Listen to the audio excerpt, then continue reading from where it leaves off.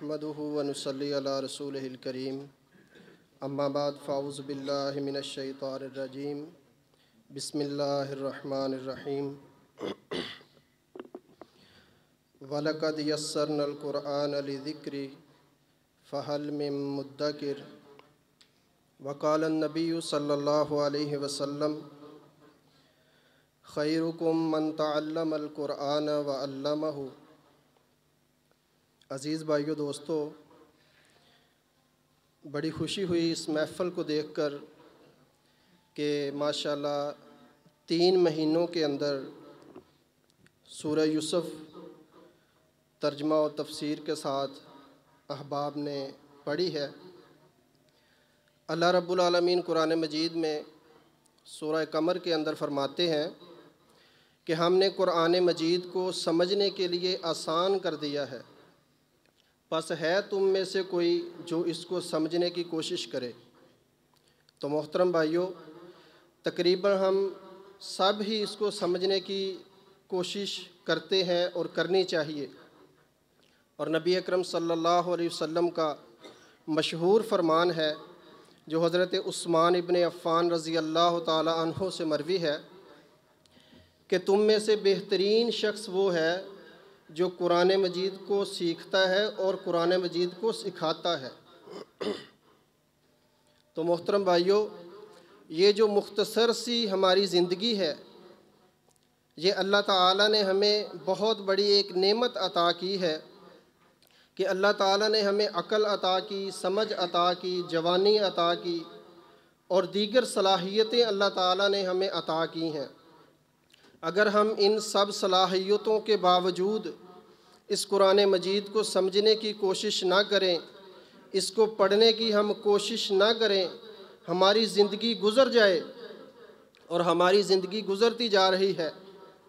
हमारी ज़िंदगी जो है वो गुज़रती जा रही है और हमारी ज़िंदगी जो है गुज़र जाए और हम इस कुरान को ना पढ़ सकें, इस कुरान को ना समझ सकें। तो मोहतरम भाइयों, अल्लाह ताला कुरान मजीद में फ़रमाते हैं या अयुहल इंसान फ़िन्ना का कादहन इला रब्बी का कद हन फ़मुला की ही फरमाया, ए इंसान, हमने तुम्हें मुशक्क़त में पैदा किया है और तुम मुशक्क़तें उठाता उठाता, बिल आखिर हमारे पास लौट आएगा। और देखें, हम दुनिया के लिए कितनी मुशक्क़तें उठाते हैं। सर्दी के अंदर, गर्मी के अंदर, अपना रिज़क कमाने के लिए, अपना घर बार बनाने के लिए अपने बच्चों को पालने के लिए हम सारी ज़िंदगी मुशक्क़तें उठाते रहते हैं। मुश्किल से हम गुज़रते रहते हैं। लेकिन जब बारी आती है कुरान मजीद की तो हमें लगता है कि ये बहुत मुश्किल है। हालाँकि अल्लाह रब्बुल आलमीन फरमाते हैं, हमने इसको समझने के लिए आसान कर दिया है। लेकिन मोहतरम भाइयों, हम इसको बहुत ज़्यादा मुश्किल समझकर छोड़ देते हैं। हम इसको इस कुरान को समझने से इससे बहुत दूर चले जाते हैं।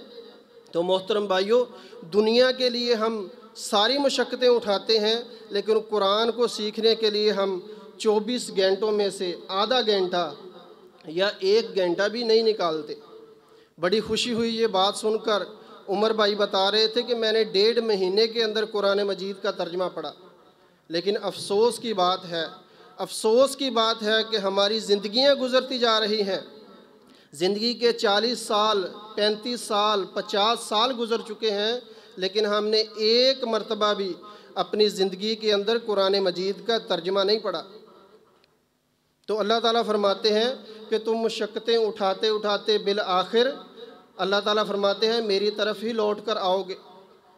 तो जब अल्लाह ताला की तरफ़ लौट कर जाना है तो क्या वहाँ पर अल्लाह ताला से मुलाकात होगी? अल्लाह ताला का सामना होगा। तो वहाँ क्या होगा? नबी अकरम सल्लल्लाहु अलैहि वसल्लम ने फरमाया फरमाया, ला तजूल कदम अबन आदम यौमल क़यामा हत्ता युस अला अन फरमाया, क़यामत के दिन कोई मुसलमान अपने, कोई इंसान अपने कदमों को अपनी जगह से हटा नहीं सकेगा जब तक अल्लाह रब्बुल आलमीन के पाँच सवालों के जवाब नहीं दे देगा। फरमाया, अन उमूर ही फ़ी माँ अफना अफनाहू। व अन शबाब ही फ़ीमा अबलाहू। फरमाया, अल्लाह ताला फरमाएँगे, बता, मैंने तुम्हें ज़िंदगी अता की, इतनी उम्र अता की, तुमने अपनी ज़िंदगी कहाँ गुजारी? मोहतरम भाइयों, पाँच सवाल हैं, पाँच सवाल, लेकिन हमारे पास पहले सवाल का भी जवाब नहीं है। तो क्या हम अल्लाह अपने अल्लाह रब्बुल आलमीन को क्या मुँह दिखाएँगे? कि अल्लाह ताला पूछेंगे कि मैंने अपने आखिरी पैगंबर सल्लल्लाहु अलैहि वसल्लम के ऊपर सिर्फ़ एक किताब नाजल की थी। सिर्फ़ एक किताब कुरान मजीद नाजल किया था और उसके सिर्फ़ तीस पारे थे, सिर्फ़ तीस पारे। और अल्लाह ताला पूछेंगे, बता मैंने तुम्हें साठ साल की ज़िंदगी अता की, पचास साल की ज़िंदगी, चालीस साल की ज़िंदगी अता की, क्या तूने इतनी ज़िंदगी में कुरान मजीद को भी समझा? मोहतरम भाइयों, सिर्फ़ एक किताब है जो आखिरी नबी जनाब मोहम्मद सल्लल्लाहु अलैहि के ऊपर नाजल हुई, जो आज हमारे पास उसी तरह मौजूद है जैसे अल्लाह रब्बुल ने नाजल की है। लेकिन हमारे पास वक़्त नहीं है कि हम इसको समझें। हमारे पास वक़्त नहीं है कि हम इसको पढ़ें, इसको लोगों को पढ़ाएँ। और नबी अकरम सल्लल्लाहु अलैहि वसल्लम ने फरमाया कि बेहतरीन शख्स वो है जो इसको पढ़ता है और लोगों को पढ़ाता है।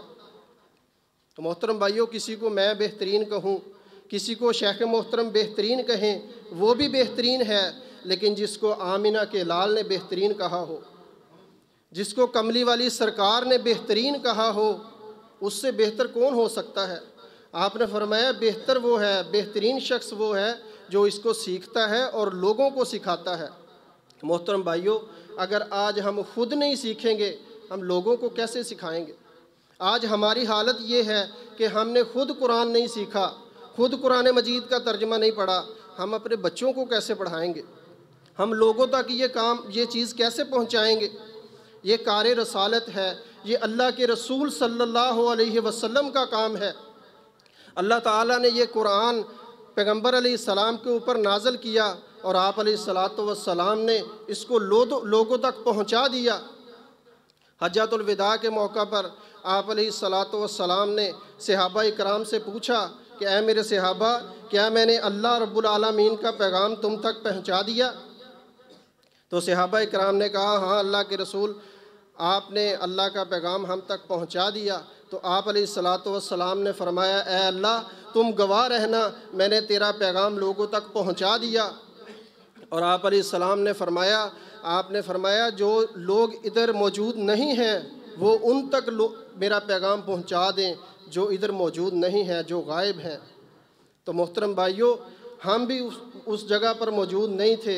हम तक भी ये कुरान पहुँचा है। अब इससे आगे पहुंचाना ये हमारी ज़िम्मेदारी है।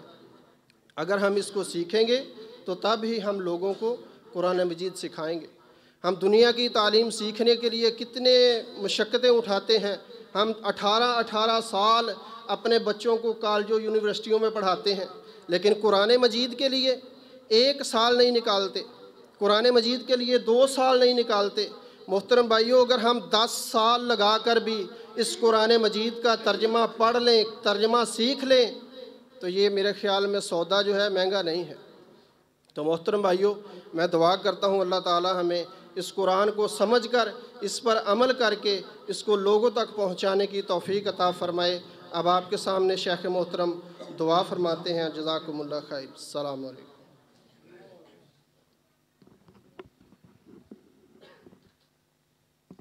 माशा